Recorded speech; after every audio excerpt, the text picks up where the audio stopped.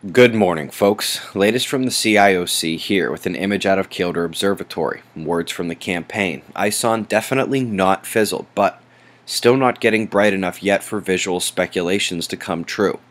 Of course, there's still the meteor shower to come, which is my top concern with ISON, even above induced field instability in the corona upon perihelion. Quick rundown of last night's articles, discussed heavily already in the private forum. First is the earthquake hotspot, an ancient mantle plume that is trekking across the globe at geologic speeds, currently in the North Atlantic. Starwater students. Magnetic jets of supercharged particles are the genesis of planetary nebulae. They can't find any of those without H2O, hydroxyls, in the full JPL Genesis mission elemental spectrum of the solar wind. Starwater.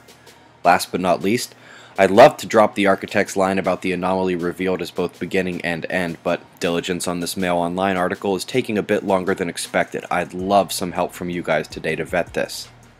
Between the remnants of Tropical Storm Manuel, new development, and the fading Ingrid, it's a rough day for large swaths of Mexico, and their tracks suggest the same is going to be true for a few days.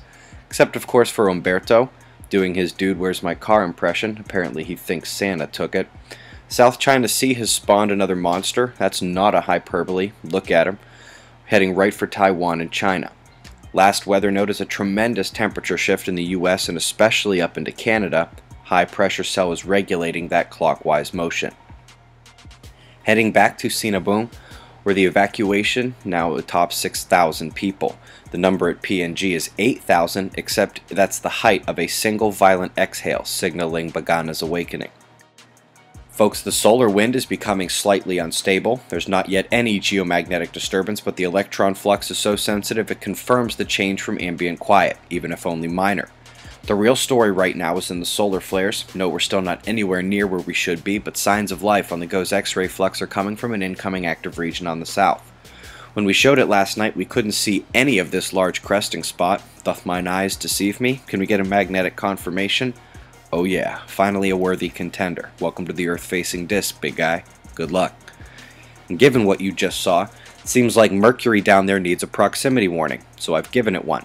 The asterisk is because the experts obviously disagree with that analysis and give no warning for Mercury. Coronal hole power is increasing, especially on the backside. We have our next coronal hole still heading towards center disk up north, Folks, the biggest quakes of the last day have been confined to Europe and here where it meets far western Asia. They are missing about 20 aftershocks in Greece as well. Overall watch is back on the rise as coronal holes are complemented by a coming full moon to match Venus conjoining Saturn in the evening sky.